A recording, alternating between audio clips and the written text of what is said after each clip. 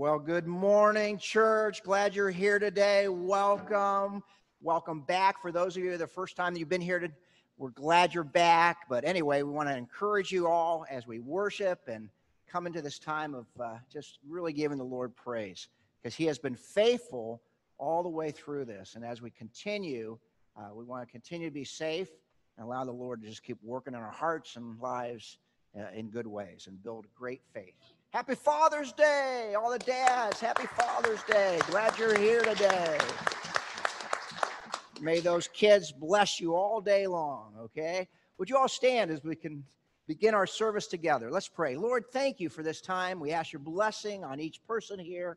Thank you, Lord, that we can celebrate uh, dads.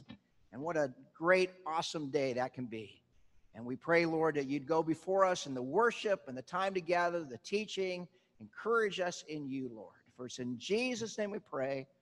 Amen. Please remain standing for the worship.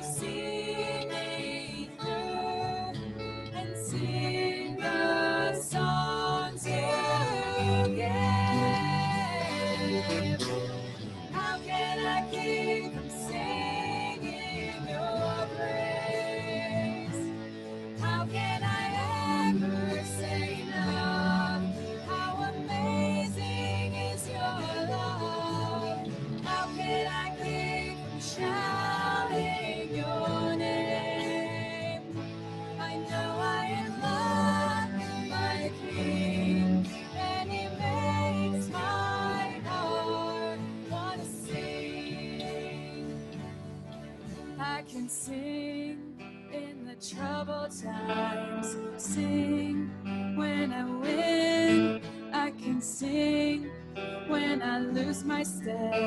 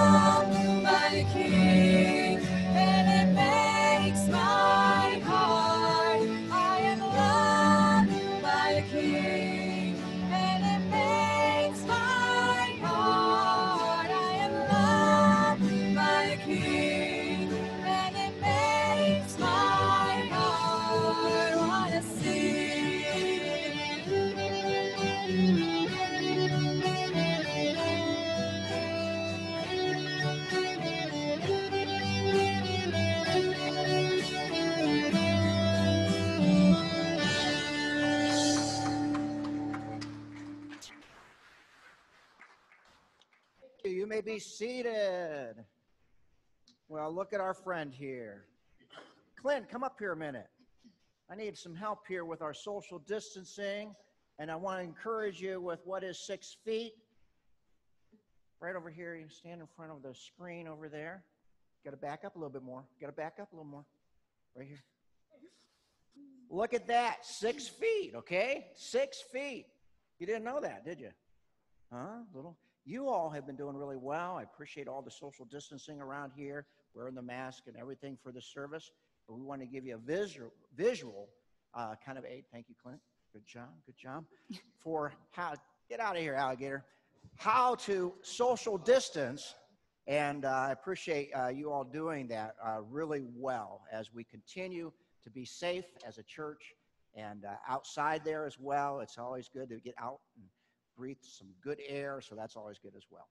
Um, two announcements. Uh, one, uh, there is a sign up back in the back uh, for helping to sanitize uh, in between the services. So, right after this service, we go through all the chairs and everything that could be touched, and we do that. And we need some help with that. So, if you could sign up, there's a sign up sheet back in the back uh, for that. The other announcement just concerns some of our youth group and elementary uh, school uh, kind of events that are going to come up um, on July the 18th, I believe it is. We're going to be actually having a promotion Sunday for the kids, and on that Sunday, uh, we'll have some good Sunday school classes for the kids and everything. So that's going to be starting up. And then you'll hear more about the youth group. Uh, we have a couple of events uh, for them uh, coming up in July as well. So slowly opening things up and doing it in a safe way. Okay? But you guys are awesome. Uh, we love you all and so glad that we can be back like this, uh, being able to worship together. Uh, would you all stand as we continue in our worship together? Happy Father's Day. Men, happy Father's Day. And we're going to be talking about the value of your role as men. And so we appreciate all the different ways that you show the love of Christ. Let's pray together. Lord, thank you for today and for Father's Day. We ask your blessing on each of the men here. We pray, Lord, you'd encourage us in you today. Help us to see life from your perspective. Help us to grow in our relationship with you and to develop a strong faith as men and women uh, that have that ability to lean into you. I pray, Lord, you'd encourage us to slay the giants uh, before us.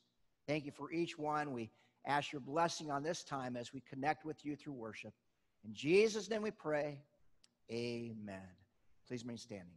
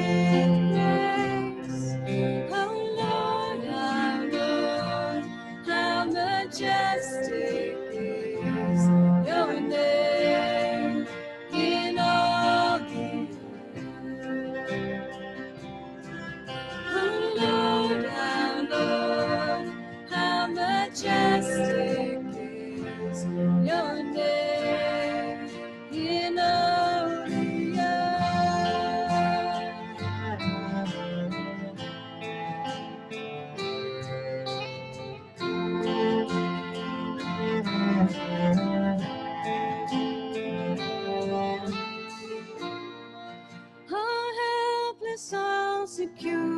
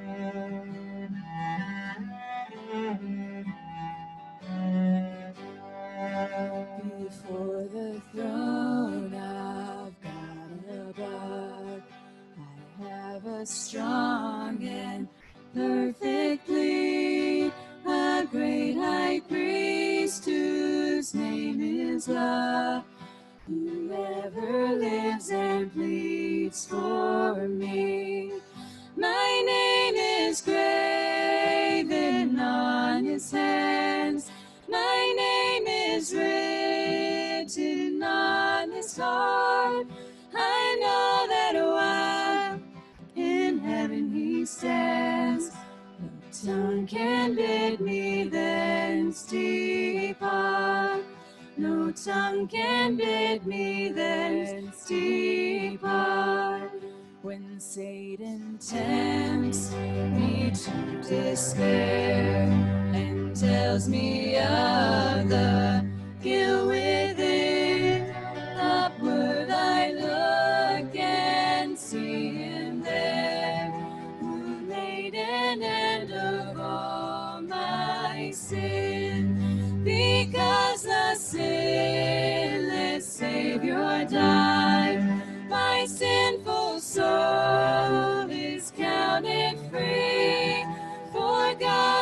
just dissatisfied to look on him and pardon me, to look on him and pardon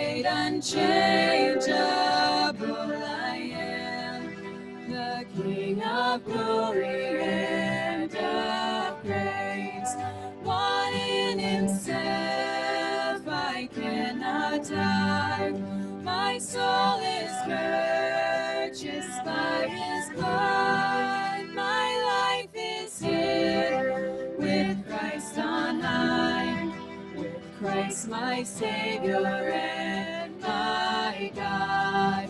With Christ, my Savior and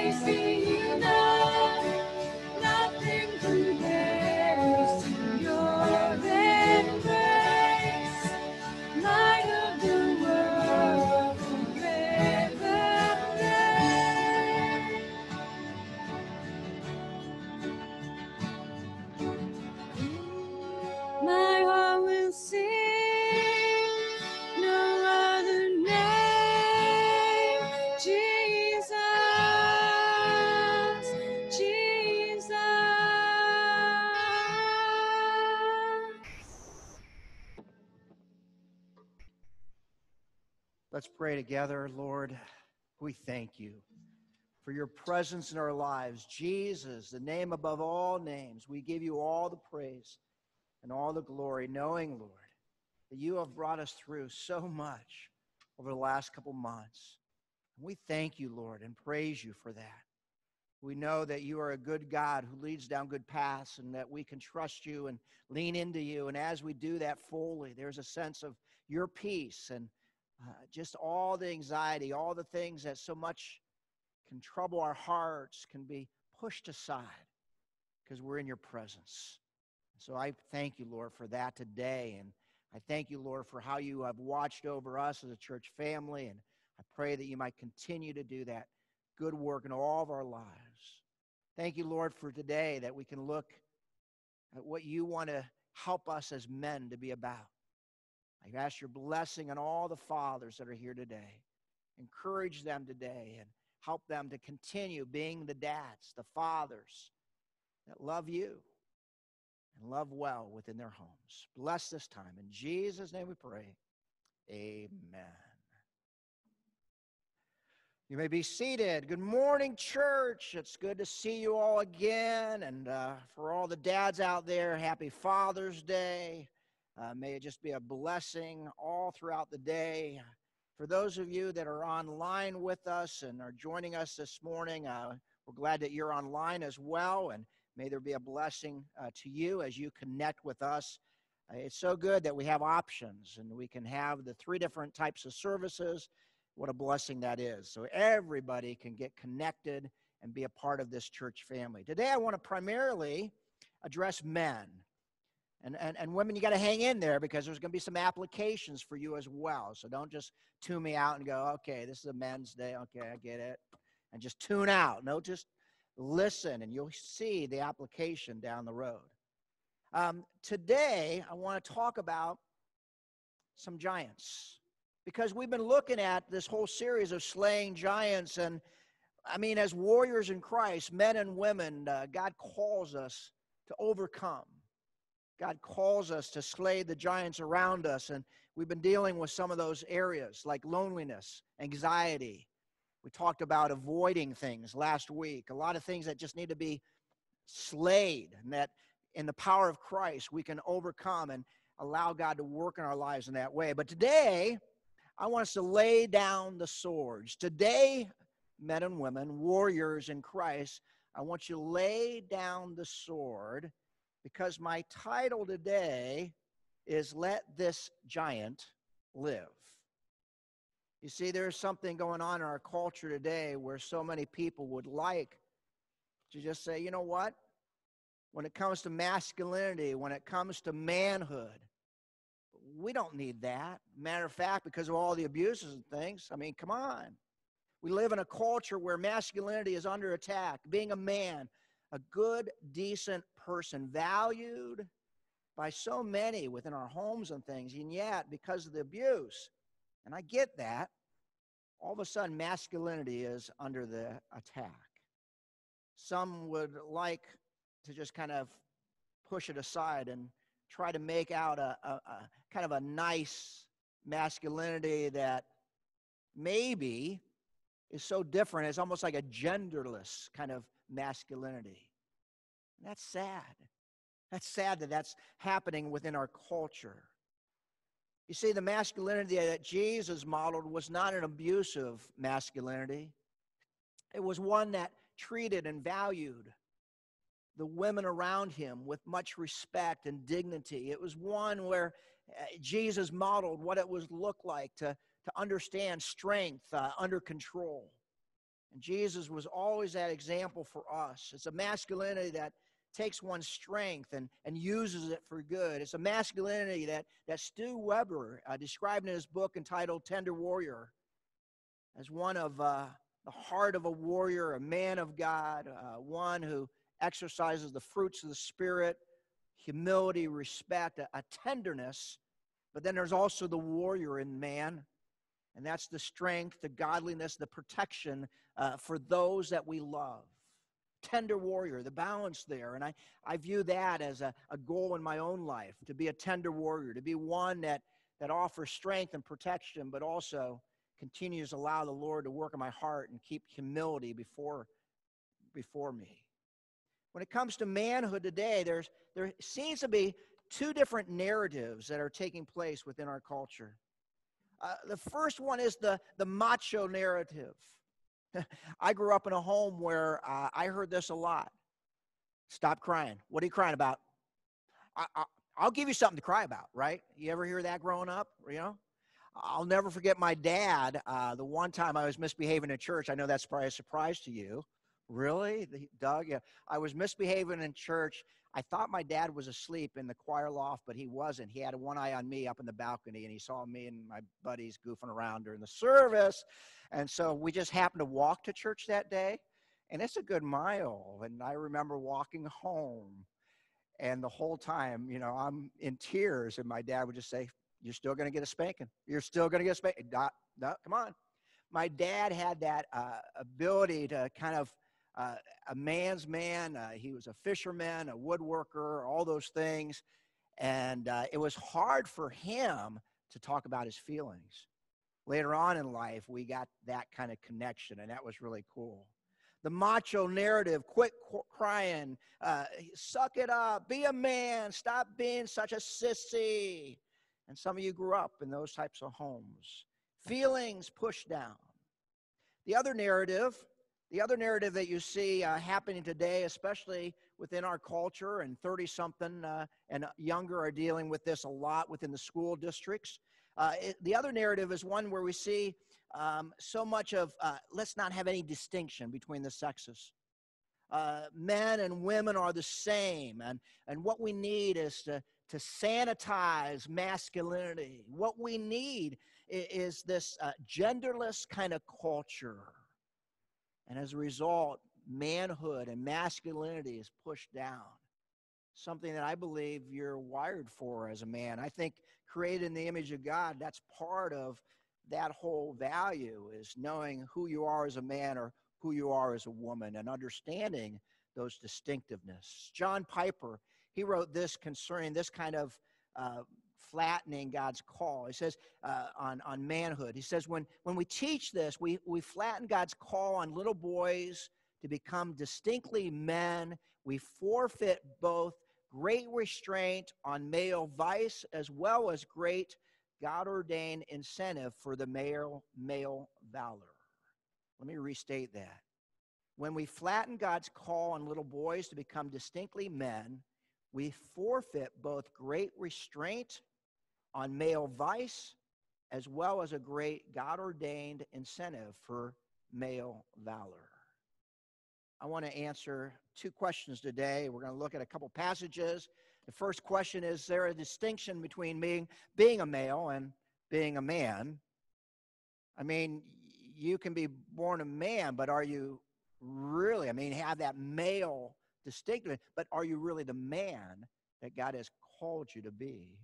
And then the second question is Do men have a unique responsibility um, as men? So, first of all, let's look at is there a distinction between being a male and being a man? And the passage I want to look at is 1 Corinthians chapter 16, um, beginning in verse 13.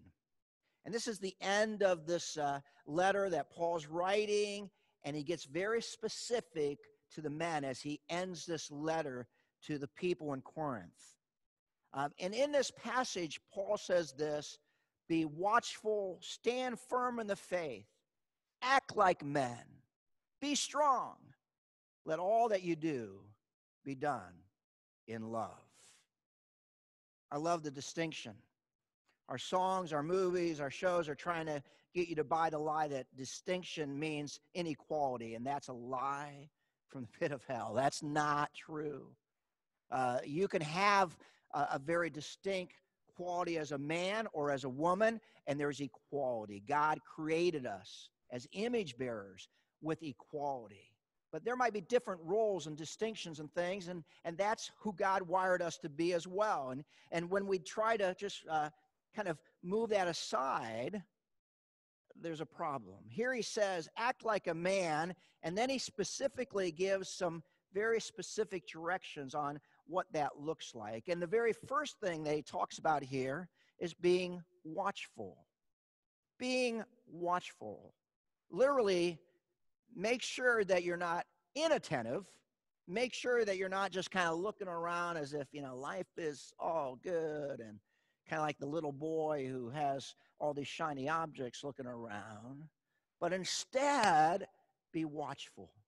Instead, be aware of what's going on. Be aware that there's some destructive things going on in our culture that we need to be watchful and aware of and on guard for because as a tender warrior god calls us to take that responsibility of protecting those that we love he wants us to make sure uh, that we grow up in manhood and understand the value of being watchful, being a protector to, to those that we love and care about deeply. I, I love seeing little boys act up, right? They do that all the time. Um, they they kind of do all kinds of crazy stuff.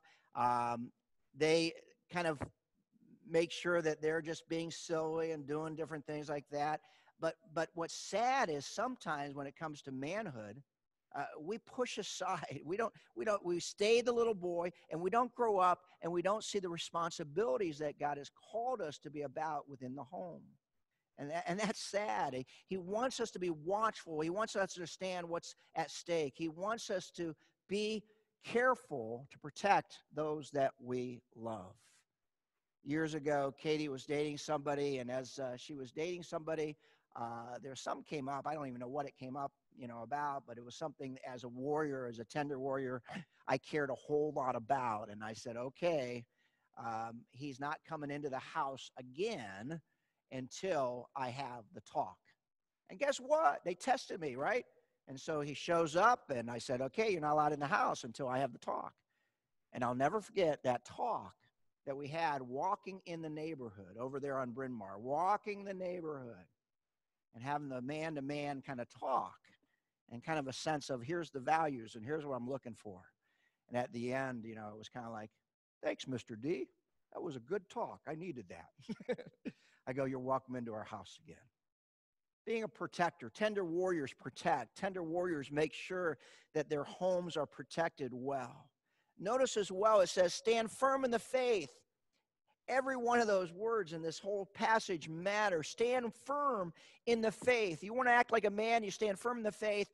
Uh, you need to not stand firm in discipline or stand firm in your abilities or all the different things that you can do and kind of make things happen, but stand firm in the finished work of what Jesus Christ has done on the cross for you. Stand firm in Christ. Stand firm. Why? Because so oftentimes we're prone to making mistakes and doing things where we blow it and we need uh, the forgiveness of Christ. We need the strength that comes from Christ to help us even overcome some of those weaknesses that we have.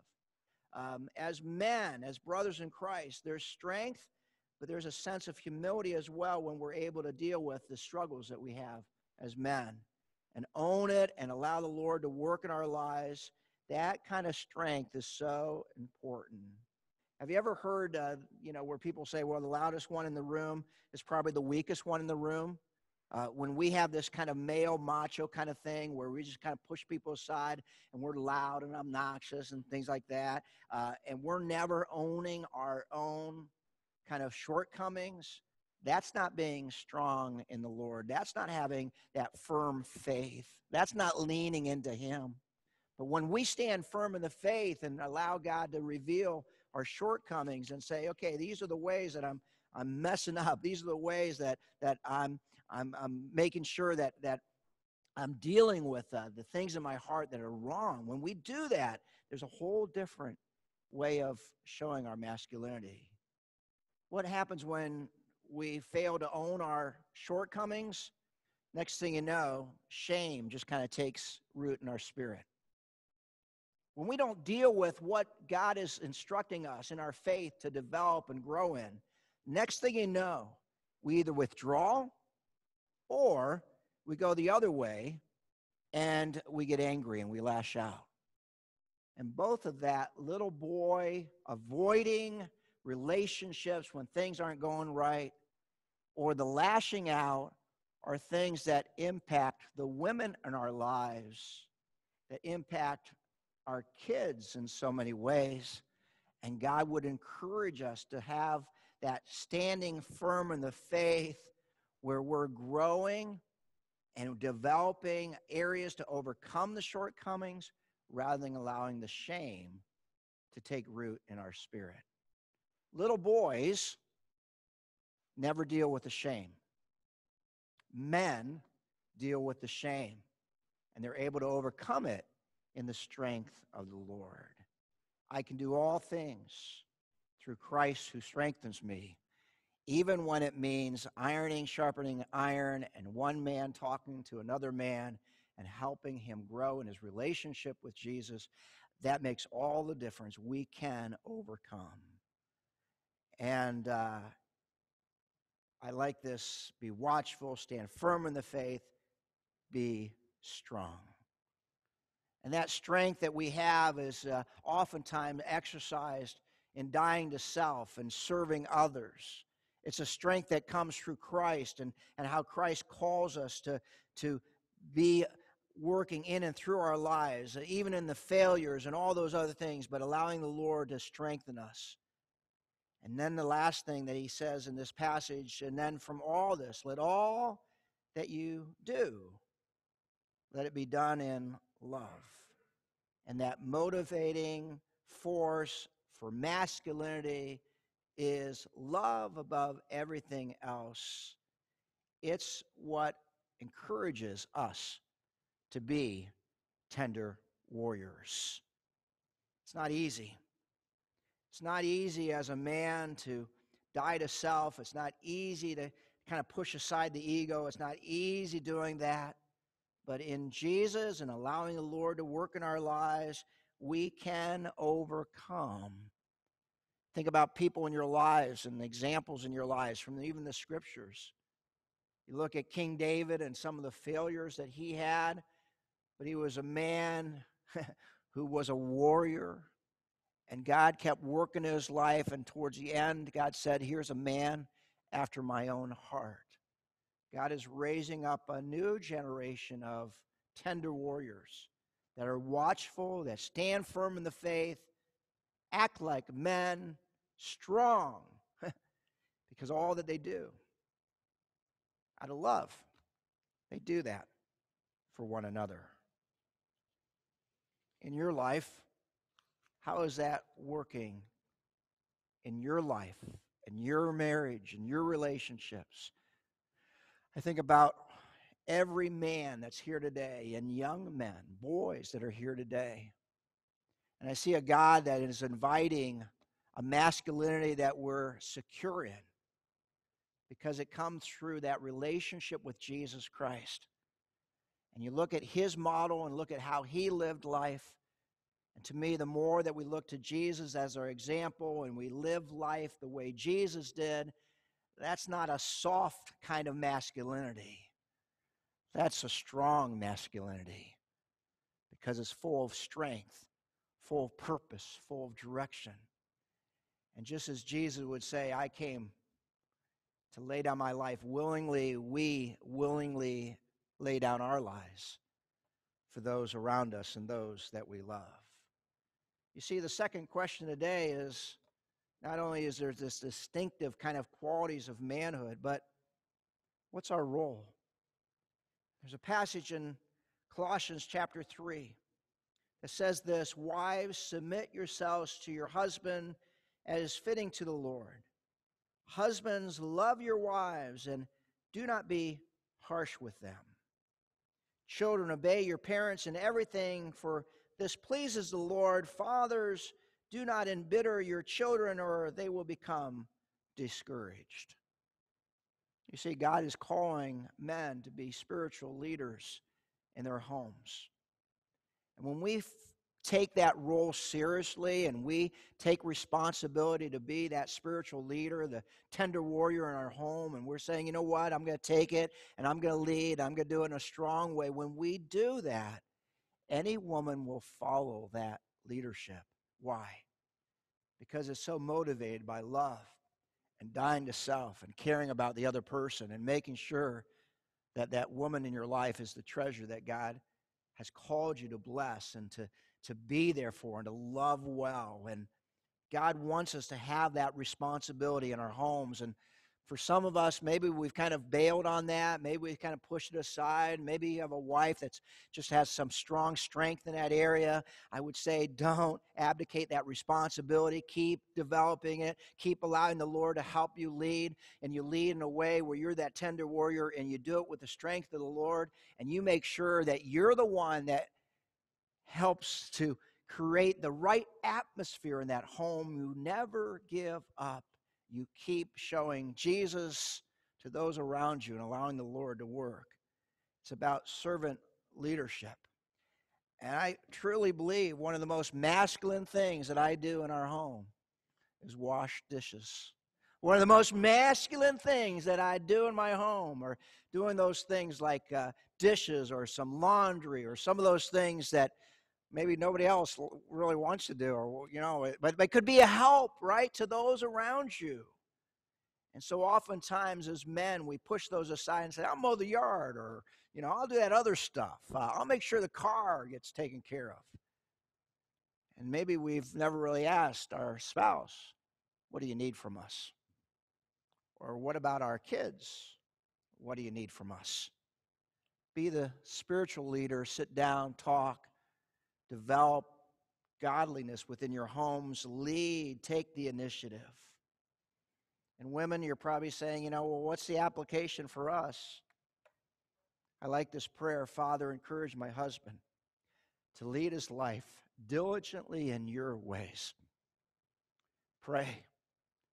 Seek the Lord. Pray for your husbands to, to be the husbands that God has called them to be, the fathers that God has called them to be. Pray, never stop praying. And maybe when they make some mistakes along the way, you pray even more and you say, God, help them to pick up the pieces and keep moving on and to allow the forgiveness of Christ to help them and encourage them. But you pray for them and support them, and, but you don't take away the responsibility of them being that spiritual leader in your home.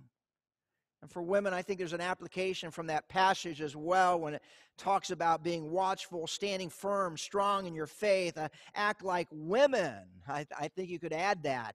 Uh, be strong, let all that you do be done in love. I think that's a great model for both men and women, both warriors in Christ, for making strong relationships and strong, healthy homes.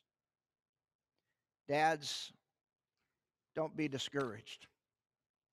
When you make mistakes or when you think, you know what, you're not having any impact on your kids, when you feel like a failure or you feel like, you know what, it's not worth it, I want you to know it is worth it. And keep allowing the Lord to work in your life and to give you the strength.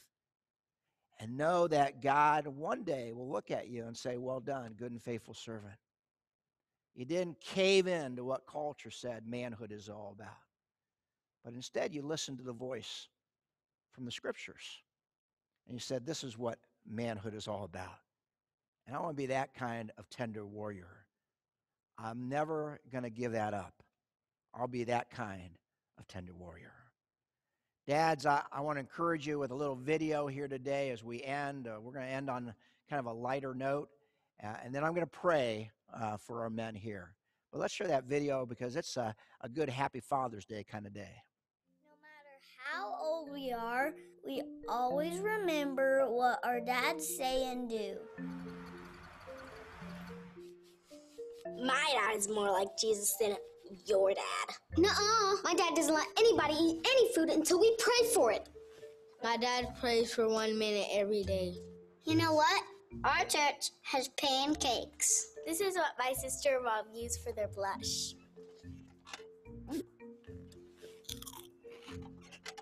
My dad says that mean kids never know what they're talking about. Because their parents don't know what they're talking about either.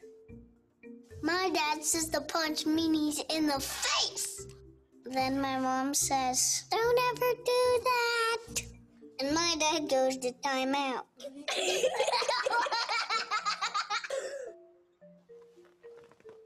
My dad's beard is itchy whenever he kisses me. My dad takes me to church. so we could learn to be just like Jesus. My daddy prays for me. Then he makes me stop talking and go to bed. Then I get a flashlight and read my po- comic book. That's a sin. He's sinning. No, I'm not. Sinner. No, I'm not. R2, R2, R2.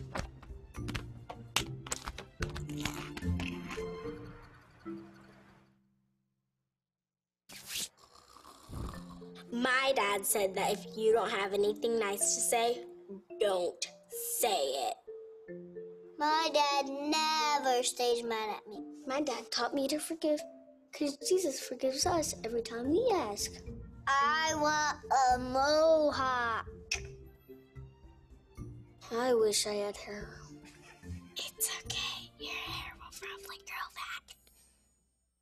Thanks for being our dads for all our lives.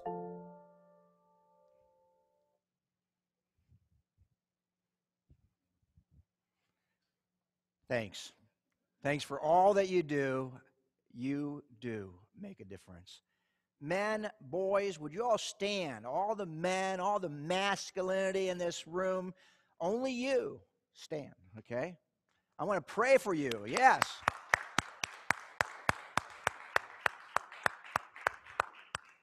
Let's pray together. Lord, I thank you for the men that are in this room. I pray, Lord, that you'd encourage us to be tender warriors. I thank you for the work that they do as fathers, and sometimes it's hard work, sometimes it's very difficult. Lord, would you bless these fathers today and encourage them? I pray, Lord, that they would not allow shame to, to overcome their lives and just kind of cause them to retreat or to, to lash out. I, I pray, Lord, that you would help them to overcome that shame through the power of Christ. And you'd help them to be the leader in their homes and to be the one that is that tender warrior and encourager, the father of these kids. Bless them today, Lord. And I pray, Lord, you'd encourage these young men, these boys, to grow up and see the value of growing in Christ. And as we grow in Christ and as we become more mature in you, Lord, there's a best kind of life to live is that life where we lean into you and trust you. I pray for all the young men that they would know masculinity in a good way because we look to Jesus, the one who shows us what true masculinity is all about. Help us, Lord, to look to you, but allow you to work in all of our lives. Bless all the men that are here today. And may they continue to grow in their faith. And would you tr- help them, Lord, to model for others what servant leadership and what it means to lay down their lives willingly for those around them that they love. Help them to see that value and how much of a role, how important that role is within our homes. Bless them today. First, in Jesus' name we pray. Amen. Would everybody stand? Glad you're here as we close our service together.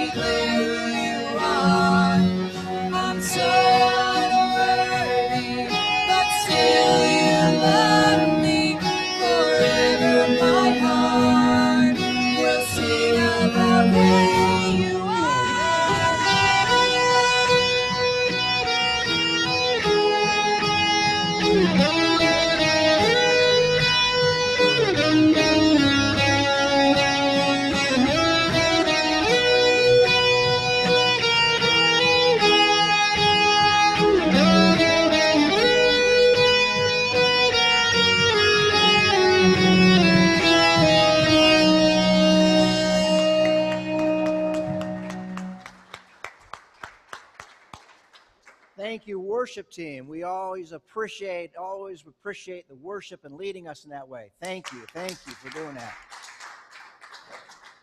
And all the people said, have a great day in Christ and happy Father's Day.